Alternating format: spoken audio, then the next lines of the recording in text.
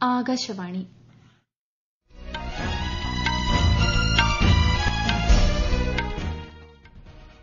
നമസ്കാരം. വാർത്തകൾ വായിക്കുന്നത് കൃഷ്ണ.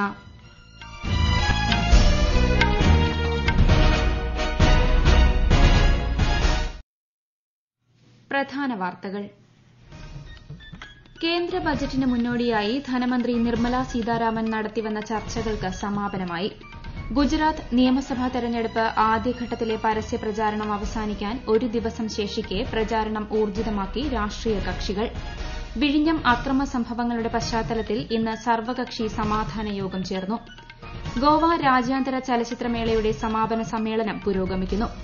ഫിഫ ലോകകപ്പ് ഫുട്ബോളിൽ സൌത്ത് കൊറിയ ഘാനയെ നേരിടുന്നു. കാമറൂൺ സെർബിയ മത്സരം സമനിലയിൽ പിരിഞ്ഞു. കേന്ദ്ര ബജറ്റിന് മുന്നോടിയായി ധനമന്ത്രി നിർമ്മല സീതാരാമൻ നടത്തിവന്ന ചർച്ചകൾക്ക് ഇന്ന് സമാപനമായി.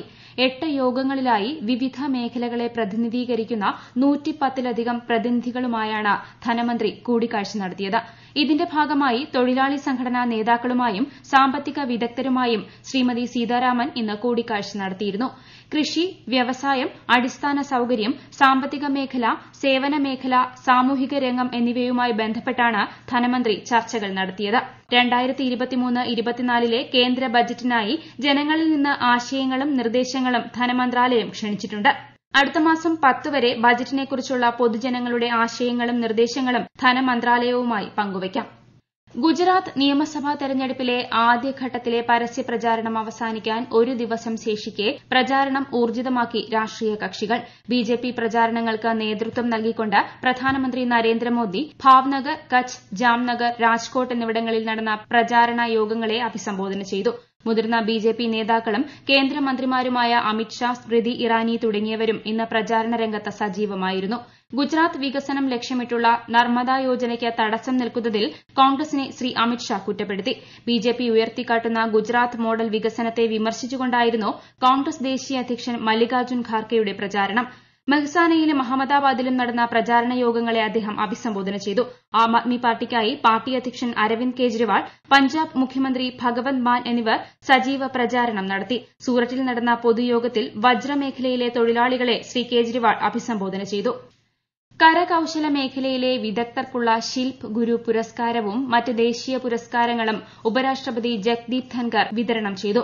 ന്യൂഡൽഹിയിൽ നടന്ന ചടങ്ങിൽ വർഷങ്ങളിലെ പുരസ്കാരങ്ങളാണ് വിതരണം ചെയ്തത്. രാജ്യത്തിന്റെ കരകൌശല പാരമ്പര്യത്തെ സമ്പന്നമാക്കുന്നതിൽ നിർണായക സംഭാവനകൾ നൽകിയ പ്രതിഭാധനരായ കരകൌശല വിദഗ്ധർക്ക് എല്ലാ വർഷവും നൽകി വരുന്നതാണ് ഈ പുരസ്കാരങ്ങൾ. രാജ്യത്തിന്റെ സാംസ്കാരിക പ്രതിനിധികളാണ് പുരസ്കാര ജേതാക്കളെന്ന് ഉപരാഷ്ട്രപതി പറഞ്ഞു. അവർ നിർമ്മിച്ച കലാവസ്തുക്കൾ രാജ്യത്തിന്റെ സാംസ്കാരികമായ ആഴം വെളിവാക്കുന്നതായും അദ്ദേഹം ചൂണ്ടിക്കാട്ടി. ഇന്ത്യൻ കരകൌശല ഉൽപ്പന്നങ്ങൾക്ക് ലോകത്ത് ആവശ്യക്കാർ ഏറുന്നത് അവയുടെ സർഗാത്മകത മൂലമാണെന്നും ശ്രീ ധൻകർ പറഞ്ഞു. നാലാമത് ഇന്ത്യ ഫ്രാൻസ് വാർഷിക പ്രതിരോധ സംഭാഷണം രാജ്യരക്ഷാമന്ത്രി രാജ്നാഥ് സിംഗിന്റെയും ഫ്രഞ്ച് പ്രതിരോധ മന്ത്രി സെബാസ്റ്റ്യൻ ലേ കൊർണോവിന്റെയും സംയുക്ത അധ്യക്ഷതയിൽ ന്യൂഡൽഹിയിൽ ചേർന്നു. ഇന്തോ പസഫിക് മേഖലയിലെ സമുദ്ര സുരക്ഷ ഭീകരവാദ വിരുദ്ധ നടപടികൾ സ്വയം പര്യാപ്ത ഭാരത നയം അടിസ്ഥാനമാക്കിയുള്ള സാങ്കേതിക വ്യാവസായിക പങ്കാളിത്തം തുടങ്ങിയ വിഷയങ്ങളിൽ ഇരുവരും ചർച്ച നടത്തി. രണ്ട് ദിവസത്തെ സന്ദർശനത്തിനായി ഇന്ത്യയിലെത്തിയ ഫ്രഞ്ച് പ്രതിരോധ മന്ത്രി വിദേശകാര്യമന്ത്രി എസ് ജയശങ്കറുമായും കൂടിക്കാഴ്ച നടത്തും. ദേശീയ സുരക്ഷാ ഉപദേഷ്ടാവ് അജിത് ഡോവലുമായി പ്രാദേശിക സുരക്ഷ സംബന്ധിച്ച വിഷയങ്ങളിലും ചർച്ച നടക്കും. വിഴിഞ്ഞം സംഘർഷത്തിന്റെ പശ്ചാത്തലത്തിൽ സമാധാനം പുനഃസ്ഥാപിക്കുന്നതിനായി ഇന്ന് സർവകക്ഷി സമാധാന യോഗം ചേർന്നു. സമരസമിതിയുടെ ആറ് ആവശ്യങ്ങൾ സർക്കാർ അംഗീകരിച്ചിട്ടും ഇന്നലെ നടന്ന അക്രമ സംഭവങ്ങൾ ഒരു തരത്തിലും അംഗീകരിക്കാനാവാത്തതാണെന്ന് മന്ത്രി ജി ആർ അനിൽ യോഗത്തിൽ പറഞ്ഞു. നിയമം കൈയിലെടുത്ത നടപടി ദൌർഭാഗ്യകരമാണെന്നും അദ്ദേഹം ചൂണ്ടിക്കാട്ടി. സമരക്കാരുമായി മുഖ്യമന്ത്രി നേരിട്ട ചർച്ചകൾക്ക് തയ്യാറാകണമെന്ന് കോൺഗ്രസ് ആവശ്യപ്പെട്ടു. പ്രതിഷേധക്കാർക്കെതിരെ മുഖം നോക്കാതെ നടപടി സ്വീകരിക്കണമെന്ന് ബിജെപി യോഗത്തിൽ ആവശ്യപ്പെട്ടു. സമരം അമർച്ച ചെയ്യുന്നതിൽ ജില്ലാ ഭരണകൂടം പരാജയപ്പെട്ടതായും ബിജെപി ആരോപിച്ചു.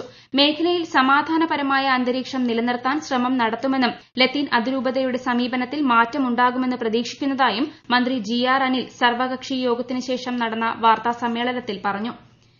വിദേശകാര്യ സെക്രട്ടറി വിനയ് മോഹൻ ക്വാത്രയുടെ സർവീസ് കാലാവധി ഡിസംബർ വരെ നീട്ടി.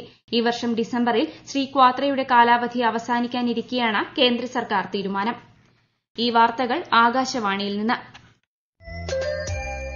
ആകാശവാണി വാർത്തകളും വാർത്താ അധിഷ്ഠിത പരിപാടികളും All India Radio News Thiruvananthapuram എന്ന യൂട്യൂബ് ചാനലിൽ ലഭ്യമാണ്. കൂടുതൽ വാർത്തകൾക്കായി at All India Radio News Thiruvananthapuram എന്ന ഫേസ്ബുക്ക് പേജും at A R news underscore ടിവിയും എന്ന ട്വിറ്റർ ഹാൻഡിലും സന്ദർശിക്കാം. അൻപത്തിമൂന്നാമത് ഗോവ രാജ്യാന്തര ചലച്ചിത്രമേളയ്ക്ക് സമാപനം. പനാജിയിലെ ശ്യാമപ്രസാദ് മുഖർജി സ്റ്റേഡിയത്തിൽ നടന്ന സമാപന ചടങ്ങിൽ കേന്ദ്ര വാർത്താ വിതരണ പ്രക്ഷേപണ മന്ത്രി അനുരാഗ് സിംഗ് ഠാക്കൂർ കേന്ദ്ര സഹമന്ത്രി എൽ മുരുകൻ ഗോവ മുഖ്യമന്ത്രി പ്രമോദ് സാവന്ത് ഉൾപ്പെടെയുള്ള പ്രമുഖർ പങ്കെടുത്തു. രാജ്യത്തെ സിനിമാ നിർമ്മാണ മേഖലയെ കൂടുതൽ മെച്ചപ്പെടുത്തുകയാണ് കേന്ദ്ര സർക്കാരിന്റെ ലക്ഷ്യമെന്ന് വാർത്താ വിതരണ പ്രക്ഷേപണ മന്ത്രി ശ്രീ അനുരാഗ് ഠാക്കൂർ പറഞ്ഞു. The 53rd IFFI concludes having made many new beginnings.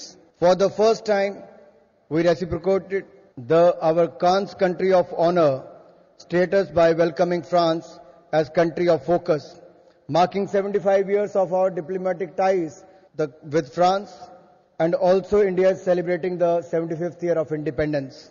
For the first time, the 75 young filmmakers who were selected competed in a 53-hour challenge to make films envisioning India at 100 years of independence. മികച്ച ചിത്രത്തിനുള്ള സുവർണ മയൂരം Spanish ചിത്രമായ I have electric dreams സ്വന്തമാക്കി. ചിത്രത്തിലെ നായിക Daniela നവാരോയാണ് മികച്ച നടി. നോ എൻഡ് എന്ന ചിത്രത്തിലൂടെ വാഹിദ് മുബാഷരി മികച്ച നടനായി. നോ എൻഡ് സംവിധായകൻ നാദ സ്വീവർ രജത മയൂരം സ്വന്തമാക്കി. ജനാധിപത്യവും ജനാധിപത്യ മൂല്യങ്ങളും അനുസരിച്ച് പ്രവർത്തിക്കുന്നത് ഇന്ത്യൻ ജനതയുടെ ജീവിതചര്യയാണെന്ന് ലോക്സഭാ സ്പീക്കർ ഓം ബിർള. ലോക്സഭാ സെക്രട്ടറിയേറ്റ് സംഘടിപ്പിച്ച മുപ്പത്തിയാറാമത് പാർലമെന്ററി ഇന്റേൺഷിപ്പ് പ്രോഗ്രാമിനെ അഭിസംബോധന ചെയ്യുകയായിരുന്നു രാജ്യങ്ങളിൽ നിന്നുള്ള നാൽപ്പത്തിനാല് പേരാണ് പരിപാടിയിൽ പങ്കെടുക്കുന്നത്. ഭരണഘടനാ സംരക്ഷണത്തിലൂടെ ഇന്ത്യ ജനാധിപത്യത്തെ അഭിവൃദ്ധിപ്പെടുത്തിയെന്നും സ്പീക്കർ നിരീക്ഷിച്ചു.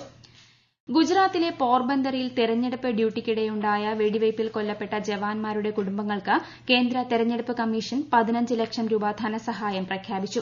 തെരഞ്ഞെടുപ്പ് ഡ്യൂട്ടിക്കിടെ അബദ്ധത്തിലാണ് വെടിവയ്പുണ്ടായത്. ഡൽഹിയിൽ വായു ഗുണനിലവാരം അതീവ മോശം വിഭാഗത്തിൽ തുടരുന്നു. ഗുണനിലവാര സൂചികയിൽ രേഖപ്പെടുത്തി. നഗരങ്ങളിൽ വിവിധയിടങ്ങളിൽ ഇന്ന് പുകമഞ്ഞ് ജനജീവിതത്തെ ബാധിച്ചു. സായുധസേനയുടെ പതാക ദിനാഘോഷത്തോടനുബന്ധിച്ചുള്ള നാലാമത് സാമൂഹിക പ്രതിബദ്ധത കോൺക്ലേവ് നാളെ ഡൽഹിയിൽ ആരംഭിക്കും. രാജ്യരക്ഷാ മന്ത്രി രാജ്നാഥ് സിംഗ് മുഖ്യാതിഥിയാകും. സായുധസേനയുടെ പതാക ദിന ധനശേഖരണ വെബ്സൈറ്റിന്റെ പ്രകാശനം അദ്ദേഹം ചടങ്ങിൽ നിർവഹിക്കും. പതാക ദിന പ്രചാരണ ഗാനവും അദ്ദേഹം പുറത്തിറക്കും. രാജ്യരക്ഷാ സഹമന്ത്രി അജയ് ഭട്ട് സംയുക്ത സേനാ മേധാവി ജനറൽ അനിൽ ചൌഹാൻ പ്രതിരോധ സെക്രട്ടറി ഉൾപ്പെടെയുള്ള മുതിർന്ന ഉദ്യോഗസ്ഥർ കോൺക്ലേവിൽ പങ്കെടുക്കും.